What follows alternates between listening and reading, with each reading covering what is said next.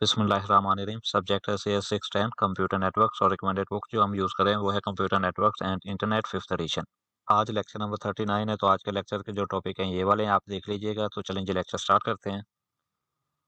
इस लेक्चर में हमने चैप्टर नंबर ट्वेंटी सेवन को स्टार्ट करना और इस चैप्टर के नेम है internet routing and routing protocol और अगर पेज नंबर की बात करें तो पेज है फोर फोर्टी नाइन और इसकी जो रिकमेंडेड बुक हम यूज़ करें वो है computer network and internet fifth edition ये वाला चैप्टर है internet routing and routing protocol, अगर और पेज नंबर की बात करें तो पेज है फोर फोर्टी नाइन।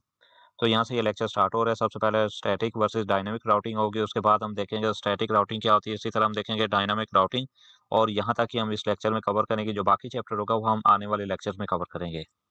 इस वाले लेक्चर में हमने सिर्फ़ यहाँ तक ही कवर करना है। इसके बाद जो है ना, ये राउटिंग इन ग्लोबल इंटरनेट ही हम अगले लेक्चर में कवर करेंगे। अब सबसे पहले कुछ टर्मिनोलॉजी देख लेते हैं। सबसे पहले है फॉरवर्डिंग और इस तरह एक राउटिंग है।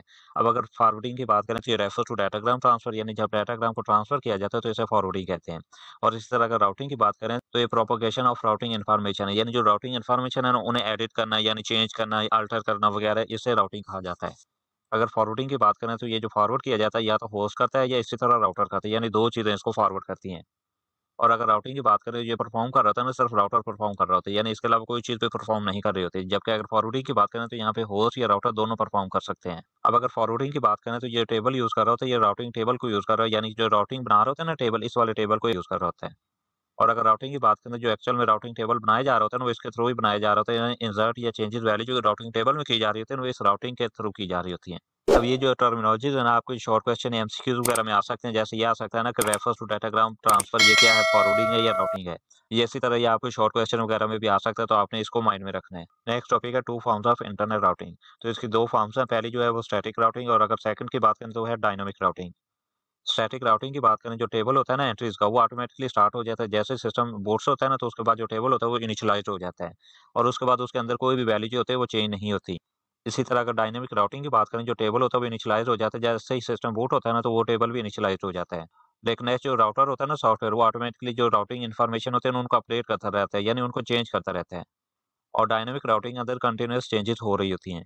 अब इन दोनों का जरा डिफरेंस देख लेते हैं। तो अगर स्टैटिक राउटिंग की बात करें तो जब एक कंप्यूटर ने दूसरे कंप्यूटर को कोई भी डाटा सेंड करना होता है तो अगर वो डिफरेंट नेटवर्क के ऊपर हो तो उनके दरमियान में मल्टीपल राउटर हो सकते हैं। हमने यहाँ सिंप्लिसिटी के लिए थोड़े से राउटर लिए अब स्टैटिक राउटिंग के अंदर जो एक नेटवर्क एडमिनिस्ट्रेटर होता है ना, वो राउटिंग इन्फॉर्मेशन को सेव कर देता है, यानी उनका एक टेबल बना के सेव कर देता है। तो टेबल के अंदर वो एक राउटिंग इन्फॉर्मेशन सेव कर देता है और जब भी कंप्यूटर ने डाटा सेंड करना होता है ना उसी राउटिंग टेबल को यूज़ करता है।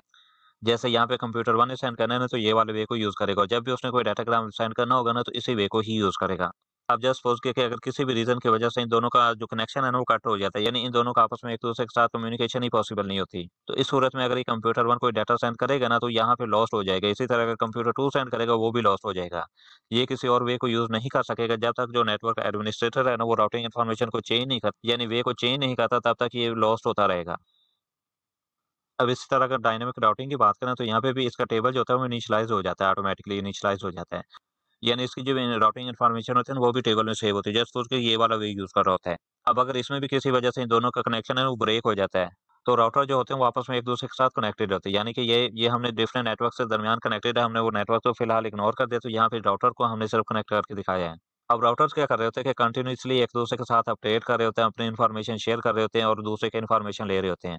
तो यहाँ पे ये वाला राउटर और इसी तरह ये वाला राउटर लर्न कर लेगा तो इन दोनों का जो पाथ है ना, वो ब्रेक हो चुका है। अब ये न्यू पाथ फाइंड आउट करने की कोशिश करेंगे। यानी इनके जो साथ वाले होंगे ना राउटर उनके साथ कम्युनिकेशन करके इन्फॉर्मेशन एक्सचेंज करेंगे और बेस्ट पॉसिबल वे जो होता है ना, वो चूज़ कर लेंगे। सो so, यहाँ पे ये वाला राउटर ये भी लर्न करना शुरू कर देगा और इस तरह ये वाला राउटर ये भी लर्न करना शुरू कर देगा।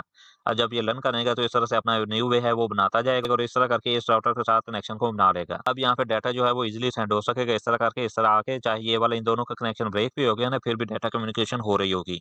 लेकिन जस्ट सपोज़ के अगर यहाँ पे कनेक्शन ये ब्रेक हो जाता है तो ये क्या करेगा? यहाँ से लर्न करके दोबारा से ये वाला वे ले लेगा। और अगर ये वे भी पॉसिबल नहीं होगा तो ये वाला राउटर और ये वाला राउटर फिर से फाइंड आउट करेंगे और न्यू वे है ना, यहाँ से कोई भी वे ले लेंगे, यहाँ से इस तरह करके।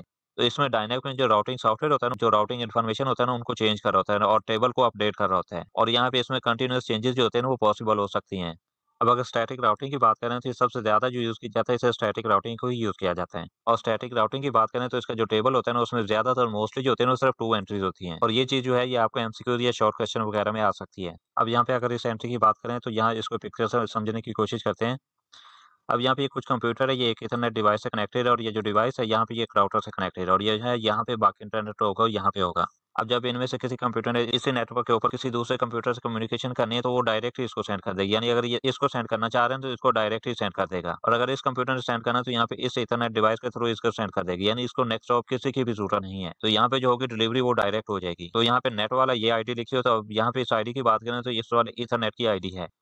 और अगर सेकंड एंट्री की बात करें यानी डिफ़ॉल्ट और नियरेस्ट राउटर की बात, तो यहाँ पे पिक्चर में अगर देखें, अब अगर इन कंप्यूटर में से किसी ने भी इंटरनेट के ऊपर कोई डाटाग्राम सेंड करना है ना, तो वो किसको सेंड करेगा? वो इस राउटर को सेंड करेगी, यानी यानी नियरेस्ट जो राउटर है ना, उसको सेंड करेगा। तो यहाँ पे इसकी एंट्री कुछ ऐसे होगी डिफ़ॉल्ट यानी डिफ़ॉल्ट का मतलब इस जो इंटरनेट डिवाइस है, इसके ऊपर जितने भी जितने भी कंप्यूटर कनेक्टेड है ना, उसको वो नियरेस्ट राउटर को ही सेंड करेंगे और नियरेस्ट राउटर जो है वो ये वाला है। तो यहाँ पे जो नेक्स्ट हॉप होगा, ये वाला एड्रेस यहाँ पे आएगा नेक्स्ट हॉप का। अब यहाँ पे जो राउटर होगा नहीं, इसकी रिस्पॉन्सिबिलिटी होगी कि उसने डाटाग्राम आगे कैसे फॉरवर्ड करना है यहाँ पे अगर कोई भी सेंड करना चाहेगा ना तो इस राउटर को ही सेंड करेगा। अब उन्होंने आपको एंड्रॉइड से कुछ इस तरह की एग्जांपल दी होगी तो यहाँ पे ये वाले जो होस्ट है ना ये वाले इस वाले एड्रेस से कनेक्टेड है यानी कि जो ये है, ये इथरनेट का एड्रेस है।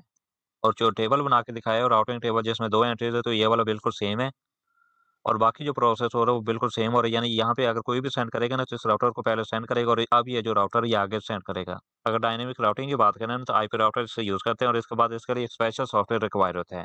और ईच राउटर जो होता है ना वो दूसरे जो उसके पास वाला राउटर होता है ना उसके साथ कम्युनिकेशन कर रहा होता है। यानी अभी हमने पीछे देखा था इस लेक्चर के स्टार्ट में कि हर राउटर अपने जो पास है ना राउटर उसके, साथ कम्युनिकेशन करके जो बेस्ट अल्टरनेटिव वे है ना वो फाइंड आउट करता रहता है और ये कंटिन्यूस प्रोसेस होता है। और जो राउटर होता है वो एक दूसरे के साथ राउटिंग इन्फॉर्मेशन को शेयर करते रहते हैं। और इसके लिए जो है ना वो राउटर प्रोपोगेशन प्रोटोकॉल की यूज़ कर रहे होते हैं एक दूसरे के साथ इन्फॉर्मेशन शेयर करके बेस्ट अल्टरनेटिव पाथ है ना वो कंटिन्यूसली फाइंड आउट कर रहे होते हैं।